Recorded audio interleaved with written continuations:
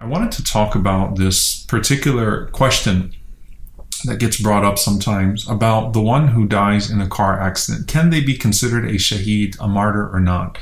And, you know, particularly when in the COVID era, there was this question about, um, you know, uh, if a person dies as a result of COVID 19, are they a shaheed or not? And Mufti Muntasar Zaman wrote a beautiful paper uh, about that, um, an article about that question. And we pray that Allah subhanahu wa ta'ala accepts all of those that die due to COVID as shuhada. Allahumma ameen. But particularly when it comes to a person who dies in a car accident, can we consider them a shaheed or not?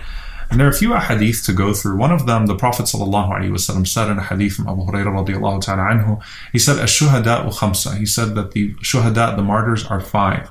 And he said, Sallallahu al-mat'un, the one who dies as a result of a, of a plague, al-mabtun, the one who dies as a result of a stomach disease, wal, uh, wal-gharq, the one who dies in a drowning accident, so the one who dies due to drowning, and the Prophet ﷺ said, وَصَاحِبُ الْهَدْمِ وَالشَّهِيدُ فِي سَبِيلِ اللَّهِ And the one who dies due to a falling structure is crushed. صَاحِبُ الْهَدْمِ And uh, the one who dies in the battlefield is a shaheed, is a martyr for the sake of Allah subhanahu wa ta'ala.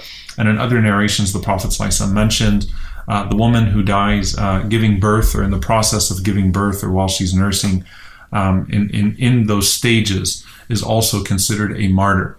Now, obviously, the person who dies in the battlefield is superior to all and is the purest form of Shahada.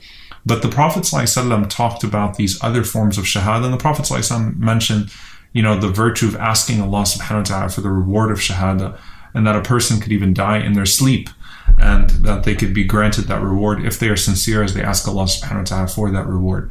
But I want to speak particularly to the car accident because so many of us have lost people that we love due to a car accident. And obviously, cars did not exist at the time of the Prophet ﷺ. So, do they fall in the category, in any one of these categories, uh, as shuhada, as martyrs? And the answer to that question is that many scholars said that sahibul hadm, the one who is crushed by something, would include, bi'ithnillahi ta'ala, would include the one who dies in a car accident as well. And the common cause that the Prophet or the or the uh, you know the commonality of these different forms of shahada, these different forms of death that the Prophet is mentioning is that these are traumatic, sudden deaths um, of, of different people. And so it's not the specifics of how they die, but people fall into these buckets of, you know, these, these traumatic forms of death, these very hard forms of death, and that a car accident would certainly, bi'idhnillahi be considered amongst those forms of shahada that we would consider that a person that is crushed by something or hit by something um, that causes their their death and obviously you know there, there is a, hope that we should have in Allah subhanahu wa ta'ala.